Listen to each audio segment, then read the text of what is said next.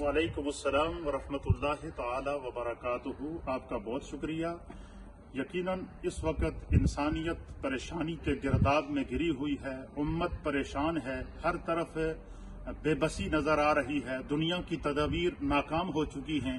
لیکن اللہ تعالیٰ نے اگر ایک طرف پوری دنیا کو بند کیا ہے، پورا ورلڈ اس وقت اگر لاک ڈاؤن ہے، لیکن میرے رب نے رحمت کے دروازے کو کھول کے رکھا ہے، کرم کے دروازے کو کھول کے رکھا ہے، مناجات کے دروازے کو کھول کے رکھا ہے، رجوع اللہ کے دروازے کو کھول کے رکھا ہے۔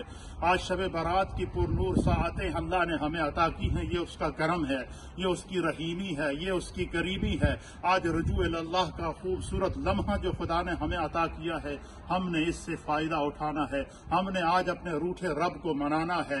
آج ہم نے رب کی رحمت کو منانا ہے اور یقیناً اس وقت امت پریشان ہے۔ اور آج نبی پاک صلی اللہ تعالی علیہ وسلم کے وسیلے سے ہم نے آج کی شب ہر گھر کے اندر عبادت کر کے، ریاضت کر کے گڑ گڑا کر اپنے رب کو منانا ہے۔ یقیناً جو ہے وہ آج شب بارات ہے اور یہ شب رحمت ہے، یہ شب توبہ ہے، یہ شب مناجات ہے۔ یہ اللہ کی طرف رجوع کرنے کی شب ہے۔ اللہ کے حبیب اس شب کو پوری پوری رات خدا کی عبادت کیا کرتے تھے، سجدے میں اس رات کو گزارا کرتے تھے، تلاوت قرآن میں اس رات کو گزارا کرتے تھے، استغفار کے اندر اس رات کو گزارا کرتے تھے۔ اور رب کریم کے حبیب نے فرمایا کہ میں اتنے انہماک سے عبادت اس لیے کرتا ہوں کہ آج کی شب یہ اللہ کی بارگاہ میں انسان کے اعمال پیش کیے جاتے ہیں۔ اور میں مصطفیٰ چاہتا ہوں کہ میرے اعمال جب خدا کی بارگاہ میں پیش کیے جائیں تو میں خدا کی عبادت میں ہوں، ریاضت میں ہوں یا روزے سے ہوں۔ اس لیے میں اپنے تمام سننے والوں کی خدمت میں یہ خوبصورت پیغام دینا چاہتا ہوں آج کی شب کے حوالے سے کہ آج اپنے رب کو منانے کا وقت آ گیا ہے۔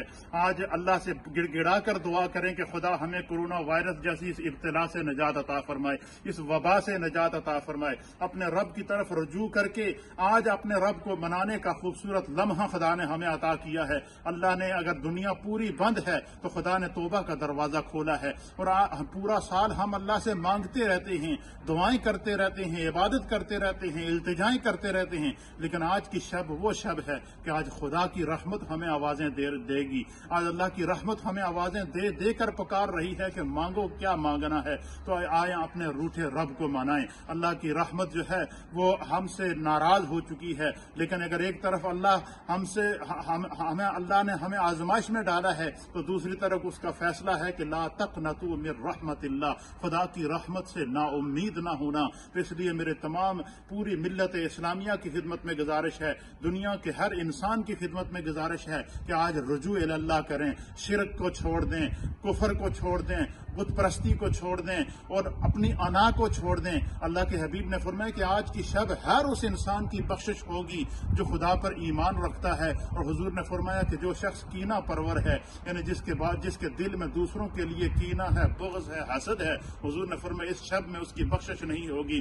فرمایا جو شخص جو ہے وہ جو شخص جو والدین کا نافرمان ہوگا، اس کی بخشش نہیں ہوگی۔ جو شخص عادی شراب ہوگا، اس کی بخشش نہیں ہوگی۔ اور فرمایا کہ اپنے رب کی طرف سچے دل سے توبہ کرنے کی رات ہے۔ تو اللہ توبہ نسوحا کی رات ہے۔ اس لیے آج کی رات کو اپنے رب کو منائیں۔ آج کی رات رب کی رحمتیں ہمیں آواز دے گی۔ ہم خدا کی رحمت سے مایوس نہیں ہیں۔ نبی پاک کا وسیلہ پیش کریں، اپنے گھروں کو آباد کریں۔ ہر گھر کو آج عبادت گاہ بنائیں۔ ہر ہر گھر کو مناجات کا ذریعہ بنائیں، ہر گھر کو التجا کا ذریعہ بنائیں، ہر گھر میں گڑ گڑا کر نبی پاک کی بارگاہ کا وسیلہ پیش کر کے رب کی بارگاہ میں دعا کریں سلاط التسبیح ادا کریں سلاط توبہ پڑھیں، زندگی کی قضا نمازیں ادا کریں۔ انشاءاللہ العزیز ہمارا رب کریم ہے، وہ رحیم ہے، وہ ہمیں بخش دے گا، ہماری خطاؤں کو معاف کرے گا اور یہ جو کرونا وائرس جیسی ابتلا اور آزمائش میں اس وقت انسانیت گرفتار ہے خدا بند قدوس، آج کی رات کا جو موقع موقع اللہ نے ہمیں عطا کیا ہے،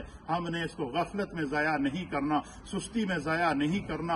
دل سے اپنے رب کی طرف رجوع کیجیے اور جو دل سے اپنے رب کی طرف رجوع کرتا ہے، اس رب کا فیصلہ ہے کہ دل سے جو بات نکلتی ہے، اثر رکھتی ہے۔ اور شاید موجودہ حالات کے تناظر کو دیکھتے ہوئے کسی صاحب دل نے کہا تھا کہ جا زندگی مدینے سے جوں کے ہوا کے لا، شاید حضور ہم سے خفا ہیں۔ منا کے لا۔ اللہ تعالیٰ اس رات کو ہمیں سچی توبہ کر کے جو ہے اپنے گناہوں کی معافی مانگنے کی توفیق عطا فرمائے۔ یقیناً آج کی رات اللہ ہمیں موقع دے رہا ہے۔ اگر سچے دل سے ہر شخص رب کی طرف رجوع کرے گا تو میرا ایمان اور اعتقاد یہ ہے کہ کرونا وائرس اور اس جیسی جتنی بھی مہلک بیماریاں ہیں، جن کے علاج سے آج انسانیت بے بس ہے، آج خدا اپنی رحمت کی ہوا آسمان سے اس دنیا پر بھیجے گا اور اس دنیا سے کرونا وائرس جیسی وبا ختم ہو جائے گی۔ اللہ ہم سب کا حامی و ناصر